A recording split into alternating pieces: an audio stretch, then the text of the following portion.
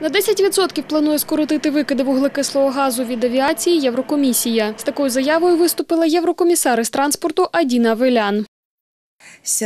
Нова ініціатива Єврокомісії Єдине європейське небо покликана модернізувати та вдосконалити управління єдиним авіаційним простором.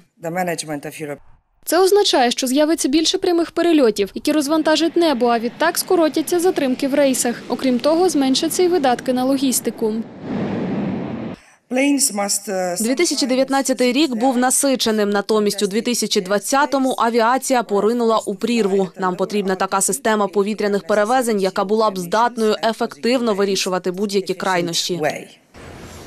Контролюватимуть це за допомогою так званого аеронавігаційного збору. Тарифи встановлюватимуть індивідуально, в залежності від ступеня шкідливості того чи іншого польоту для довкілля. А ще посилять роль Євроконтролю – організації з безпеки повітряної авіації. Також Брюссель закликає створити єдину уніфіковану загальноєвропейську базу аероруху.